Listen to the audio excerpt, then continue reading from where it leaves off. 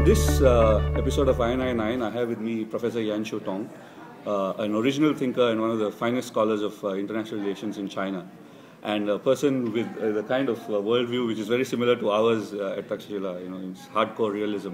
So I thought I, I could ask uh, uh, Professor Yan, no, what, what do you make of this, uh, the, the, the influence of ancient uh, foreign policy thinking on modern uh, policymakers? And in China, actually, you can realize that uh, our uh, national leaders to put more and more ancient sayings in their uh, uh, political speech. And uh, very recently, uh, no, not very recent, uh, last year in September, and Chinese government issued a, a white paper on foreign policy, and that paper, that document clearly stated, and our foreign policy is guided by three elements.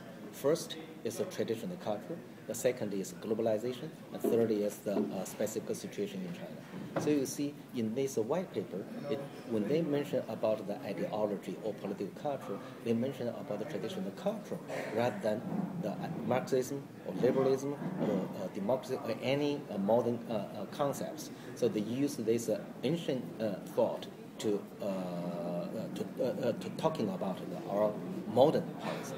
Right. So now let's let's uh, let's uh, move, uh, let's. I mean, your thesis is that as China uh, continues to grow, uh, a lot of uh, its foreign policy thinking will be influenced by ancient uh, frameworks of thought. Now let's take it to the U.S.-China case. Okay. You had a very interesting article in the New York Times about how yes. China is going to defeat uh, the United Yeah. States. What do you, what do you what do you make of uh, of this line of thinking?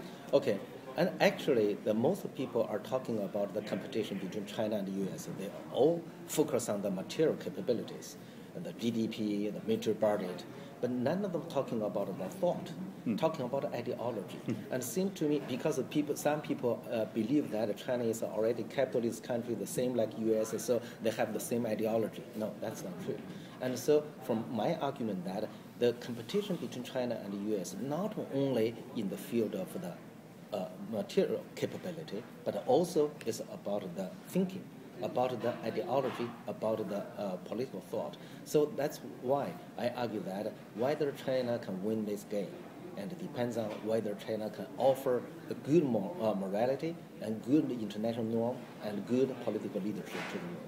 That's it. So basically, you're saying that you change the rules of the game such that the rules are in China's favor, right?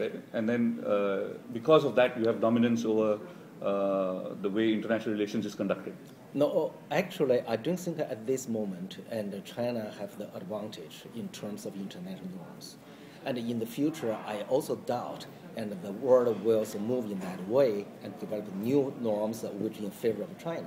I mean that the international norm is a kind of thing which can evolve, it, becomes more civilized, and the country can become the leader of the world, will, will can offer more civilized thought and ideas. For instance, and for the U.S., the core elements of the U.S. uh, ideology is uh, freedom, and uh, freedom, equity, and the uh, uh, democracy. Right. But actually, if you're talking about the Chinese ancient uh, uh, thought, they will talk about civilization.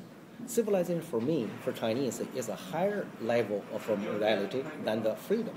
And people have freedom, but then they may do something very badly. The civ- civ- uh, civilization means uh, uh, civility, means that uh, you have to behave yourself uh, uh, rightly. And uh, about the uh, uh, like the uh, equity, and everyone is equal. That's good. But then you find that equal will bring about the competition. But then what we need? We need fairness. And fairness means what? The strong should take care of the weak. Just like a get on a bus, if we talk everyone have the equal rights, then people will grab the seats, uh, fight for the seats. But and then certainly someone comes the first and have the seat first. But then if you're talking about the fairness and that all of the strong young guys will leave the seeds or yield the seeds to the weak, aged Right. people, children, and the pregnant Right, women. right. So this is, i- i- you know, this can happen in two ways, right? One is when there is an imposition of this kind of order by an overarching authority. The second one is when it's civilizational, when, when you do it yourself. Yes. Now, uh, let's let's take both of these. Whether, I mean, wh- wh- whatever is the case. Uh, if there is a clash of norms, Mm-hmm. how do you think that the clash of norms will be sort of resolved? Mm-hmm. Uh, will it be by force? Will it be by persuasion? You know, what, what would be Okay. the way mechanism? Actually, the majority is the force, uh, determine the force to decide which norm will become popular. Norms only can be accepted by people and initiated beca- uh, uh, becomes the people's internal uh, uh, behavior, and then it will become norms. So the, I don't think anyone can force any norm on the others. And if you want to make a norm to be accepted uh, popularly by the world, that first the norm should be consistent with the age and co- uh, consistent with the life, and also it should be accepted by the majority of the people. Right. So you're, you're saying that uh, uh, it's not so much force, but it's it's more of persuasion, suasion, moral suasion, which will will get to that. Very recently, I published an article talking about how the uh, norm becomes uh, uh, uh, internalized in uh, every country, from my understanding, and the leading country can make these uh, norms uh, popular uh, in three ways. The most important way is to behave themselves. They should uh, set themselves as a sample. Yeah.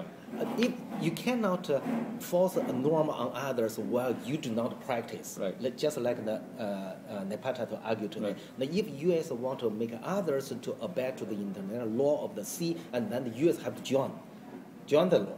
But when U.S. do not, uh, do not sign the treaty, they cannot uh, uh, ask others to do it. So the most important thing to make yourself a sample of this uh, uh, applying the uh, norm.